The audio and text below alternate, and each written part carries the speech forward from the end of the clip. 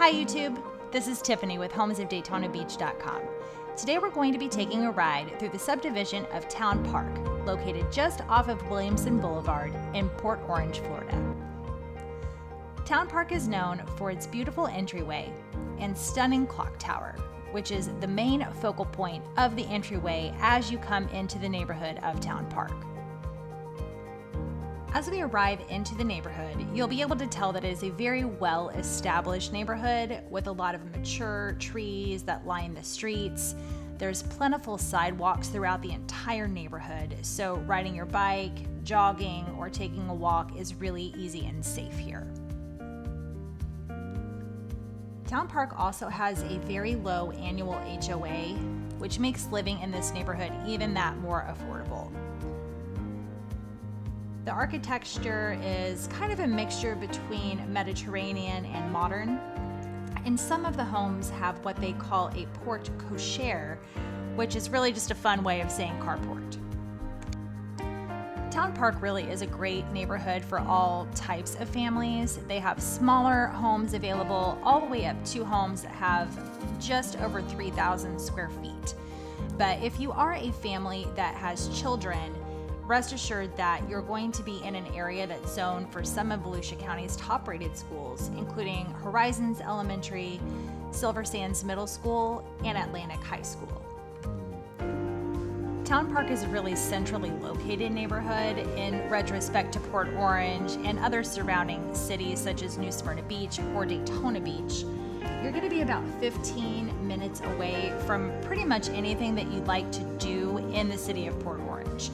If you like to go to the beach, that beach ride is going to only be about 15 minutes away, and you can drive on some portions of the beach uh, over the bridge on Dunlawton. If you prefer to do boating, Port Orange does have a couple of boat ramps located under the Dunlawton Bridge.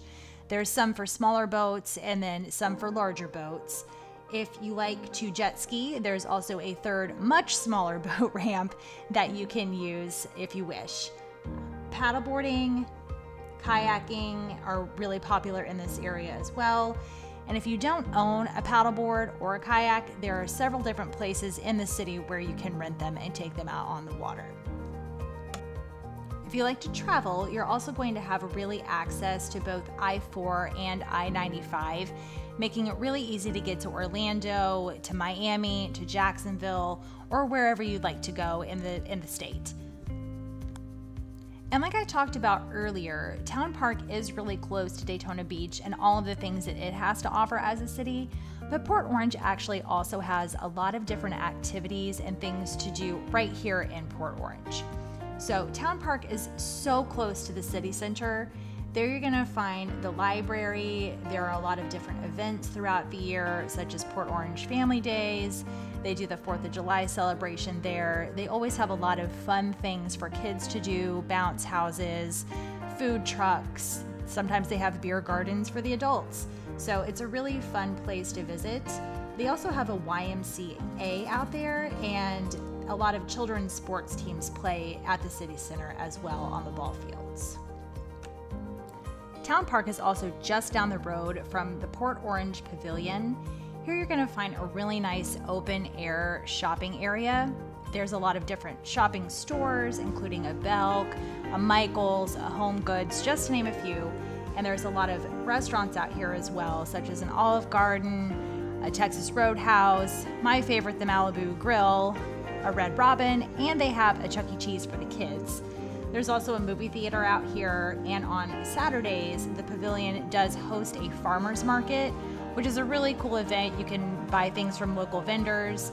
And Perrine's, who is a locally run grocery store, does a produce stand out there if you're looking for fresh produce that's locally grown and harvested in Florida. If you're looking for some other fun things to do while you're out and about in Port Orange, you should definitely check out Sugar Mill Gardens. It's about a five to seven minute drive from Town Park and is located just off of Old Sugar Mill Road, which is right off of Herbert.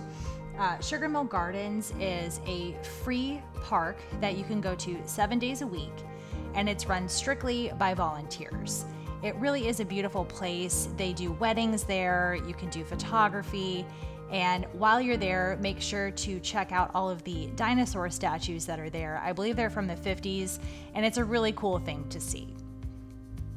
If golf is your thing, then Crane Lakes is located just off of Taylor Road, not far from Town Park, and they offer a really nice golf course there as well. Um, if you want a larger golf course, then LPGA is about a 15 minute drive and they feature 36 holes of world class golf. It's just a short ride from Town Park, so it's definitely worth your while. If you need access to an airport, Port Orange is also within close proximity of three different airports in the area, including Daytona International Airport, Sanford Orlando International Airport, and Orlando International Airport. So, picking up friends and family while they come to visit you will be super easy here. We hope you've enjoyed this tour of Town Park, located in Port Orange, Florida. We're glad that you decided to take a ride with us. If you have any questions about any of the homes in Town Park or surrounding areas, or any other questions regarding real estate or just fun things to do while you're visiting the area, please feel free to reach out to us. You can reach us on the web at www.homesofdaytonabeach.com. Hope to see you soon.